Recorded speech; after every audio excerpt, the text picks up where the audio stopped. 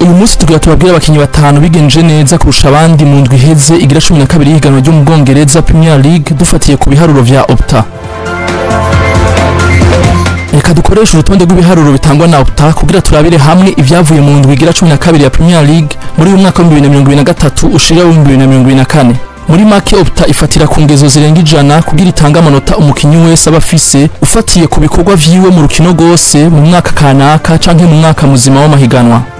ivyo biharuro birimo nk'imipira tir aba yakoze amapasi canke kuzibira defense uyu mukinyi aba yakoze ivyo biharuro vyose bica bishigwa hamwe hama hagakorwa icegeranyo kiri hagati ya mirongo ibiri n'ijana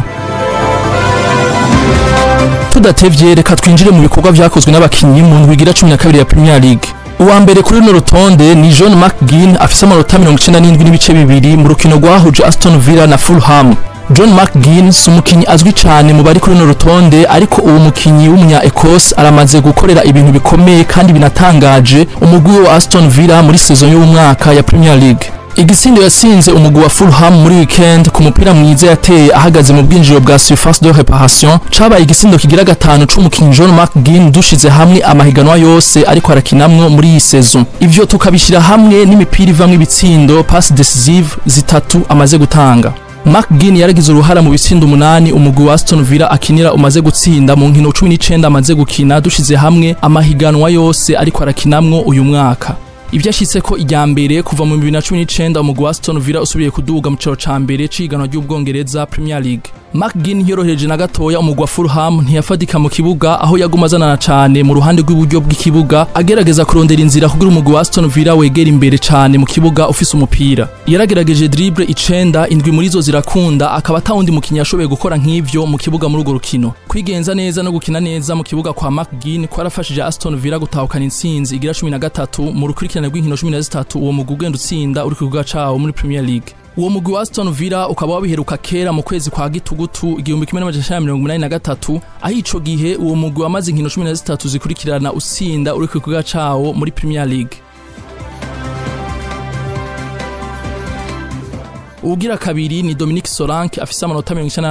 umunani mu rukino rwahuje Bournemouth na Newcastle Dominic Solanke yaratsinze ibisindo bibiri abitsindira umugwi we wa Bournemouth igihe uwo mugwi waronka intsinzi itangaje ari kuyikwiriye ku mugwi wa Newcastle solanke yateye imipira ine itumbera ku igori ry'umugwi wa Newcastle imipira ibiri muri yo niyo yavuyemo ibisindo bibiri yatsinze muri urwo rukino bituma uwo mukinyi aronka double yiwe ya kabiri muri Premier League Ivyo vyaciye bituma kwiza ibisindo bitandatu amaze gusinda muri iyi sezo ya Premier League. Ivyo bisindo nyene bigera kuri bitandatu nivyo yasinze mu nkino 33 yakinye muri sezo yo mwaka uheze ya Premier League. umugwi wa Ban Manf ukaba uri kugendera ku mukinnyi Solanke ku bw'umwimbu ariko aratanga mu kibuga muri saison y'umwaka ya Premier League aho amaze gutsindira ibisindo umugwi we ku bice mirongo bitanu ku kwijana ibisindo bitandatu mu bisindo cumi 11 umugwi we wa Ban Manf umaze gutsinda muri saison y'umwaka ya Premier League umugabane canke part iri hejuru atawundi mukinyi arashikako mu higanwa rya Premier League ry'umwaka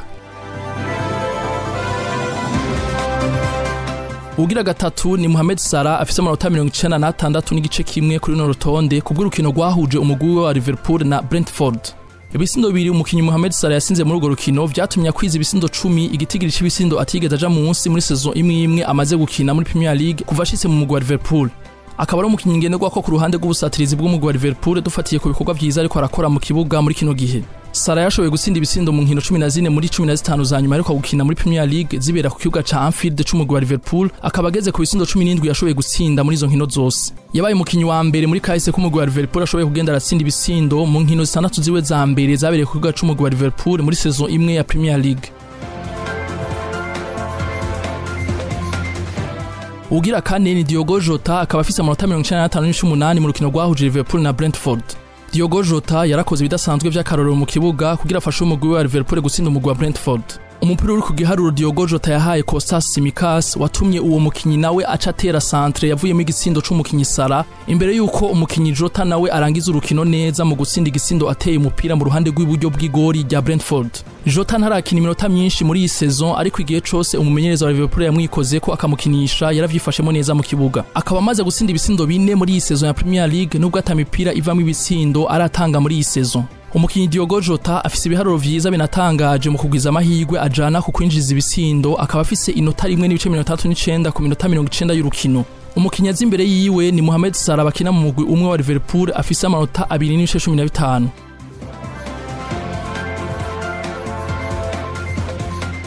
umukinnyi agira gatanu muri runo rutonde ni Lucas Paqueta ku manota 95 n'ibice bitandatu mu rukino umugwi wa West Ham wakinye na Nottingham Forest Lucas Paqueta yatsinze igisindo ku mupira wari kurigenza utanzwe n'umukinyi nicola Dominguez w'umugwi wa Nottingham Forest icyo gisindo kikaba cinjiye ku munota wa kabiri n'amasegonda mirongo itatu n'umunani y'urukino kiba kibaye igisindo ca mbere c'umugwi wa West Ham cinjiye kare mu rukino rwa Premier League muri iyi sezo inyuma y'uko umukinyi Angelo Ogbonna atsinze igisindo inyuma y'umunota umwe n'amasegonda mirongo ine n'icenda gusa y'urukino agitsinda umugwi wa Aston Villa muri Munyonyo umwaka wa bibiri na mirongo ibiri Paketa ntiyigeze aguma hamwe mu rukino yirukanga impande zose kugira agarure imipira yari ifiswe n'abakinyi b'umugwi wa Nottingham Forest umukinyi James ward Prose akina hagati mu mugwi wa West Ham niwe wenyine wenyine yakoze ku mipira myinshi igera kuri mirongo icyenda n'umwe ku mipira mirongo inani n'umwe yakozwe ko n'umukinnyi w'umunya Brazil Lucas Paqueta Paketa akaba akora akazi gakomeye hagati mu kibuga mu mugwi wa West Ham muri urwo rukino yarafashe imipira yatakajwe n'umugwi wiwe inshuro cumi n'umwe gusumba ubundi mukinnyi wese mu bari mu kibuga